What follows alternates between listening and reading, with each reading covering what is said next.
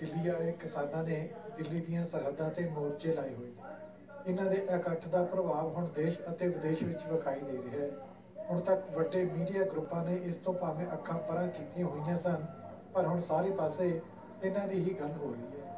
ਇਹਨਾਂ ਦੇ ਦਬਾਅ ਹੇਠ ਹੀ ਕੱਲ ਭਾਰਤ ਦੇ ਖੇਤੀ ਮੰਤਰੀ ਨੇ ਆਪਣੇ ਦੋ ਹੋਰ ਮੰਤਰੀ ਸਾਥੀਆਂ ਨਾਲ 32 ਕਿਸਾਨ ਜਥੇਬੰਦੀਆਂ ਦੇ ਨੁਮਾਇੰਦਿਆਂ ਨਾਲ ਦਿੱਲੀ ਦੇ ਵਿਗਿਆਨ ਭਵਨ ਵਿੱਚ ਗੱਲਬਾਤ ਕੀਤੀ ਸੀ। ਜਿਸ ਵਿੱਚੋਂ ਫਿਲਹਾਲ ਕੋਈ ਸਾਰਥਕ ਹੱਲ ਨਹੀਂ ਨਿਕਲਿਆ। ਉਹ ਕੁਝ ਨਹੀਂ ਨਿਕਲਿਆ ਮੀਟਿੰਗ ਵਿੱਚ। 3 ਘੰਟੇ ਬਾਤ ਦਾ ਜਵਾਬ ਇਹ ਸਿਆ ਸਰਕਾਰ ਪਾਸੋਂ ਬਹੁਤੀ ਬਾਤ ਜਿਹੜੀ ਕੀਤੀ ਆ ਖਾਤੀ ਖੇਤੀਬਾੜੀ ਮੰਤਰੀ ਨੇ ਕੀਤੀ ਆ। ਇਹ ਪਹਿਲਾਂ ਆਪਣਾ ਹੱਲ ਬਣਦਾ ਛੋਟੀ ਕਮੇਟੀ ਬਣਾਓ, ਅੰਦੋਲਨ ਵਾਸਤੇ ਜਿਹਦਾ ਮਤਲਬ ਹੈ ਕਿ ਸਰਕਾਰ ਮਸਲਾ ਹੱਲ ਕਰਨਾ ਨਹੀਂ ਚਾਹੁੰਦੀ, ਸਿਰਫ ਚਰਚਾ ਕਰਨਾ ਚਾਹੁੰਦੀ ਹੈ। ਇਹ ਬੈਠਕ 3 ਘੰਟੇ ਚੱਲਦੀ ਰਹੀ। ਸਰਕਾਰ ਕਿਸਾਨਾਂ ਨੂੰ ਆਪਣਾ ਧਰਨਾ ਸਮਾਪਤ ਕਰਨ ਅਤੇ ਗੱਲਬਾਤ ਨੂੰ ਜਾਰੀ ਰੱਖਣ ਦਾ ਸੁਝਾਅ ਦੇ ਰਹੀ ਸੀ। ਸਰਕਾਰ ਨੇ ਤਿੰਨੋਂ ਖੇਤੀ ਬਿੱਲਾਂ ਤੇ ਵਿਚਾਰ ਕਰਨ ਲਈ ਇੱਕ ਸਾਂਝਾ ਪੈਨਲ ਬਣਾਉਣ ਦੀ ਵੀ ਪੇਸ਼ਕਸ਼ ਕੀਤੀ, ਜਿਸ ਵਿੱਚ ਸਰਕਾਰੀ ਅਧਿਕਾਰੀ, ਕਿਸਾਨਾਂ ਦੇ ਨੁਮਾਇੰਦੇ ਅਤੇ ਖੇਤੀ ਮਾਹਰਾਂ ਨੂੰ ਸ਼ਾਮਲ ਕੀਤਾ ਜਾਵੇਗਾ। ਕਿਸਾਨ ਆਗੂਆਂ ਦਾ ਕਹਿਣਾ ਸੀ ਕਿ ਇਹ ਵਿਚਾਰ ਪਹਿਲਾਂ ਕੀਤੀ ਜਾਣੀ ਚਾਹੀਦੀ ਸੀ ਹੁਣ ਇਸ ਦਾ ਸਮਾਂ ਨਹੀਂ ਹੈ ਕਿਸਾਨ ਤਿੰਨੋਂ ਖੇਤੀ ਕਾਨੂੰਨਾਂ ਨੂੰ ਕਿਸਾਨਾਂ ਲਈ ਕਾਲੇ ਕਾਨੂੰਨ ਕਹਿ ਕੇ ਇਹਨਾਂ ਦੀ ਵਾਪਸੀ ਦੀ ਮੰਗ ਤੇ ਅੜੇ ਰਹੇ ਉਹ ਫਿਲਹਾਲ ਆਪਣਾ ਸੰਘਰਸ਼ ਵਾਪਸ ਲੈਣ ਲਈ ਕੋਈ ਵਿਚਾਰ ਨਹੀਂ ਕਰ ਰਹੇ स्वाभाविक रूप से हम तो किसान भाइयों को ये आग्रह करते ही है कि वो आंदोलन स्थगित करें और वार्ता के लिए आए लेकिन ये फैसला करना किसान यूनियन पर किसानों पर निर्भर है ਕਿਸਾਨ ਯੂਨੀਅਨਾਂ ਦੀ ਕੇਂਦਰੀ ਸਰਕਾਰ ਨਾਲ ਅਗਲੀ ਮੀਟਿੰਗ 3 ਦਸੰਬਰ ਨੂੰ ਰੱਖੀ ਗਈ ਹੈ। ਇਸ ਦਰਮਿਆਨ ਖੇਤੀ ਮੰਤਰੀ ਨੇ ਕਿਸਾਨ ਆਗੂਆਂ ਨੂੰ ਕਿਹਾ ਕਿ ਉਹ ਇਹਨਾਂ ਬਿੱਲਾਂ ਵਿਚਲੀਆਂ ਇਤਰਾਜ਼ਯੋਗ ਮੱਦਾਂ ਦੀ ਨਿਸ਼ਾਨਦੇਹੀ ਕਰ ਲੈਣ। ਇਹਨਾਂ ਤੇ 3 ਦਸੰਬਰ ਵਾਲੀ ਮੀਟਿੰਗ ਵਿੱਚ ਵਿਚਾਰ ਕੀਤਾ ਜਾਵੇਗਾ। ਇਸ ਦੇ ਨਾਲ ਹੀ ਕਿਸਾਨਾਂ ਦਾ ਸੰਘਰਸ਼ ਹੋਰ ਤੇਜ਼ ਹੋਣ ਦੀਆਂ ਸੰਭਾਵਨਾਵਾਂ ਬਣ ਰਹੀਆਂ ਨੇ। ਹੁਣ ਪੰਜਾਬ ਤੋਂ ਇਲਾਵਾ ਹੋਰ ਸੂਬਿਆਂ, ਖਾਸ ਤੌਰ ਤੇ ਉੱਤਰ ਪ੍ਰਦੇਸ਼, ਉੱਤਰਾਖੰਡ, ਰਾਜਸਥਾਨ ਅਤੇ ਮੱਧ ਪ੍ਰਦੇਸ਼ ਤੋਂ ਕਿਸਾਨ ਇਸ ਮੋਰਚੇ ਵਿੱਚ ਸ਼ਾਮਲ ਹੋ ਰਹੇ ਹਨ। ਹਰਿਆਣਾ ਦੀਆਂ ਖਾਪ ਪੰਚਾਇਤਾਂ ਨੇ ਇਸ ਕਿਸਾਨ ਸੰਘਰਸ਼ ਵਿੱਚ ਸ਼ਾਮਲ ਹੋਣ ਲਈ ਮਤੇ ਪਾਸ ਕਰ ਦਿੱਤੇ ਨੇ। ਕਿਸਾਨ ਆਗੂਆਂ ਨੂੰ ਲੱਗ ਰਿਹਾ ਹੈ ਕਿ ਕੇਂਦਰੀ ਸਰਕਾਰ ਫਿਲਹਾਲ ਉਹਨਾਂ ਦੀਆਂ ਸਮੱਸਿਆਵਾਂ ਪ੍ਰਤੀ ਸੰਜੀਦਾ ਨਹੀਂ ਹੈ।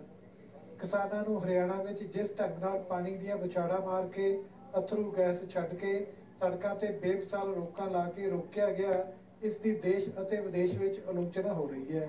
ਕਿਸਾਨਾਂ ਅਨੁਸਾਰ ਉਹ ਭਾਰਤ ਦੇ ਨਾਗਰਿਕ ਨੇ ਅਤੇ ਭਾਰਤੀ ਸੰਵਿਧਾਨ ਉਹਨਾਂ ਨੂੰ ਸ਼ਾਂਤਮਈ ਰੋਸ ਪ੍ਰਗਟ ਕਰਨ ਦਾ ਅਧਿਕਾਰ ਦਿੰਦਾ ਹੈ ਕੈਨੇਡਾ ਦੇ ਪ੍ਰਧਾਨ ਮੰਤਰੀ ਨੇ ਕਿਸਾਨਾਂ ਨਾਲ ਕੰਸਰਨ ਵਿਖਾਉਂਦੇ ਹੋਏ ਉਹਨਾਂ ਦੇ ਸ਼ਾਂਤਮਈ ਰੋਸ ਪ੍ਰਗਟ ਕਰਨ ਦੇ ਅਧਿਕਾਰ ਦੀ ਪ੍ਰੋੜਤਾ ਕੀਤੀ ਹੈ Uh, I would be remiss if I didn't start also by recognizing uh, the news coming out of India uh, about the protests by farmers.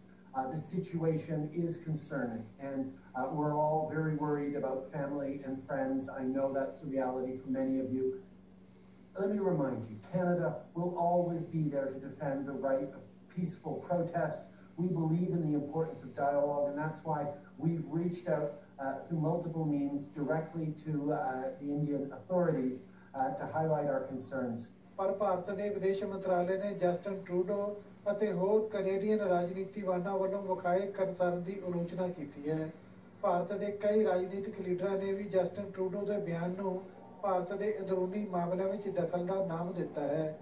ਕਿਸਾਨ ਦੇ ਦਿੱਲੀ ਚੱਲੋ ਅੰਦੋਲਨ ਨੇ ਪੰਜਾਬ ਅਤੇ ਦੇਸ਼ ਦੀਆਂ ਕਿਸਾਨੀ ਸਮੱਸਿਆਵਾਂ ਨੂੰ ਕੌਮਾਂਤਰੀ ਪੱਧਰ ਤੇ ਪਹੁੰਚਾ ਦਿੱਤਾ ਹੈ।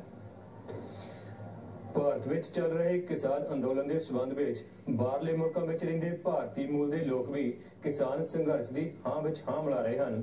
ਇਸ ਦੌਰਾਨ ਅੱਜ ਬ੍ਰੈਂਪਟਨ ਵਿੱਚ ਇੱਕ ਕਾਰ ਰੈਲੀ ਕੱਢੀ ਗਈ ਸੀ, ਜਿਹੜੀ ਕਿ ਟ੍ਰਾਂਟੋ ਵਿੱਚ ਭਾਰਤੀ ਕੌਂਸਲੇਟ ਦੇ ਦਫ਼ਤਰ ਤੱਕ ਗਈ ਸੀ। ਰੋਜ਼ਗਾਰਾਂ ਦੇ ਇੱਕ ਗਰੁੱਪ ਨੇ ਟ੍ਰਾਂਟੋ ਦੇ ਨੇਥਨ ਫਿਲਿਪ ਸਕੁਅਰ ਵਿੱਚ ਵੀ ਮੁਜ਼ਾਹਰਾ ਕੀਤਾ ਸੀ।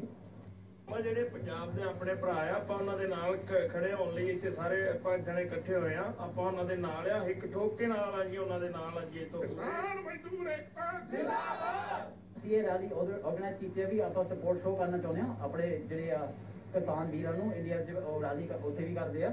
ਆਪਾਂ ਉਹਨਾਂ ਨੂੰ ਸ਼ੋਅ ਕਰਨਾ ਵੀ ਟੋਰਾਂਟੋ ਵੀ ਤੁਹਾਡੇ ਨਾਲ ਜੁੜਿਆ ਹੋਇਆ। ਤੁਹਾਡੀ ਫੁੱਲ ਸਪੋਰਟ ਆ। ਆਪਾਂ ਗਵਰਨਮੈਂਟ ਦੇ ਪ੍ਰੈਸ਼ਰ ਪਾਉਣਾ ਚਾਹੁੰਦੇ ਹਾਂ ਵੀ ਉਹ ਇੰਡੀਅਨ ਗਵਰਨਮੈਂਟ ਤੇ ਪ੍ਰੈਸ਼ਰ ਪਾਏ ਵੀ ਉਹ ਬਿੱਲ ਮਾਫ ਕਰਨ। ਮੈਂ ਹਰਿਆਣੇ ਤੋਂ ਆ ਸ਼ੇਮ ਆਉਂਦੀ ਆ ਕਿ ਜਿਹੜੀ ਖੱਟਰ ਸਰਕਾਰ ਆ ਕਿ ਜਿਹੜੇ ਸਾਡੇ ਭਰਾ ਆ ਰਹੇ ਆ ਆ ਰਹੇ ਸੀ ਉੱਥੋਂ ਪੰਜਾਬ ਤੋਂ ਜੋ ਉਹਨੇ ਉਹਨਾਂ ਨਾਲ ਵਿਤਕਰਾ ਕੀਤਾ ਹੈ ਜੋ ਵੀ ਉਹਨਾਂ ਨਾਲ ਕੀਤਾ ਬਹੁਤ ਮਾੜਾ ਕੀਤਾ ਹੈ ਉੱਥੇ ਜਿਹੜੇ ਵੀ ਖੱਟਰ ਸਰਕਾਰ ਹੈ ਜੀ। ਮੈਂ ਬਹੁਤ ਖੁਸ਼ ਹਾਂ ਕਿ ਇੰਨਾ ਵੈਦਰ ਖਰਾਬ ਹੋਣ ਤੋਂ ਬਾਵਜੂਦ ਤੇ ਸਭ ਤੋਂ ਵੱਡੀ ਗੱਲ ਕਿ ਆਪਣੇ ਯੰਗਸਟਰ ਸਾਰੇ ਆਏ ਹੋਏ ਨੇ। ਸੈਂਕੜੇ ਕਾਰਾਂ ਦਾ ਇਹ ਕਾਫਲਾ ਟੋਰਾਂਟੋ ਡਾਊਨਟਾਊਨ ਰਵਾਨਾ ਹੋਣ ਤੋਂ ਪਹਿਲਾਂ ਬ੍ਰੈਮਲੀ ਗੋ ਸਟੇਸ਼ਨ ਤੇ ਇਕੱਠਾ ਹੋਇਆ।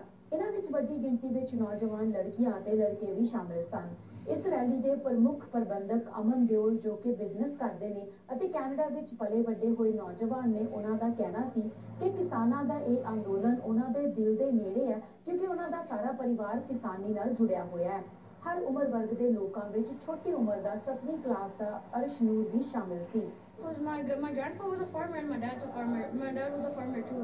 So, that's why, like ਉਹ ਲਾਈਕ ਉਹ ਤੁਹਾੜਾ ਵੀ ਫਾਰਮਰ ਵਾਲੀ ਅਮਰੀਕਾ ਕਰਨਾ ਵੀ ਫਿਰ ਫਾਰਮਰ ਨੇ ਮਰਨਾ ਹੀ ਆ। ਜੋ ਵੀ ਮੋਦੀ ਸਰਕਾਰ ਨੇ ਜਿਹੜੇ ਬਿੱਲ ਪਾਸ ਕੀਤੇ ਆ ਜੀ ਇਹ ਕਿਸਾਨਾਂ ਦੇ ਅਗੇਂਸਟ ਆ ਆਉਣ ਵਾਲੇ ਟਾਈਮ ਦੇ ਵਿੱਚ ਕਿਸਾਨ ਬਿਲਕੁਲ ਬਰਬਾਦ ਹੋ ਜਾਏਗਾ ਆਲਰੇਡੀ ਬਰਬਾਦ ਹੈ ਜੀ ਕਿਸਾਨ ਇੰਡੀਆ ਦਾ ਜਿਹੜਾ ਜੇ ਪੰਜਾਬ ਦਾ ਕਿਸਾਨ ਲਾ ਲਓ ਜਾਂ ਹਰਿਆਣੇ ਦਾ ਲਾ ਲਓ ਸਾਰੇ ਹੀ ਉੱਥੇ ਬਰਬਾਦ ਕਰ ਦੇਗਾ ਜਿਹੜੇ ਕਾਨੂੰਨ ਆ। ਜਿਹਨੇ ਆਰਗੇਨਾਈਜ਼ ਕੀਤਾ ਅਸੀਂ ਕਿਸਾਨਾਂ ਦੇ ਖਾਤਰ ਦੇ ਕਿਸਾਨਾਂ ਦਾ ਧੱਕਾ ਹੋ ਰਿਹਾ ਅਸੀਂ ਉਹਨਾਂ ਦੀ ਖਾਤਰ ਆਏ ਆਗੇ ਅਸੀਂ ਉਹਨਾਂ ਦੇ ਹੱਕ 'ਚ ਆਏ ਆਗੇ।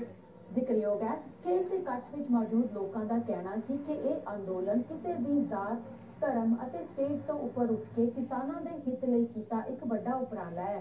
ਅਸੀਂ ਇਹਦੇ ਵਿੱਚ ਸਾਡੇ ਵੀਰ, ਜੋ ਸਾਡੇ ਪੰਜਾਬੀ ਇਹਦੇ ਵਿੱਚ ਜਿੱਤ ਪ੍ਰਾਪਤ ਕਰਨਗੇ, ਸਾਨੂੰ ਇਸ ਗੱਲ ਦਾ ਵਿਸ਼ਵਾਸ ਹੈ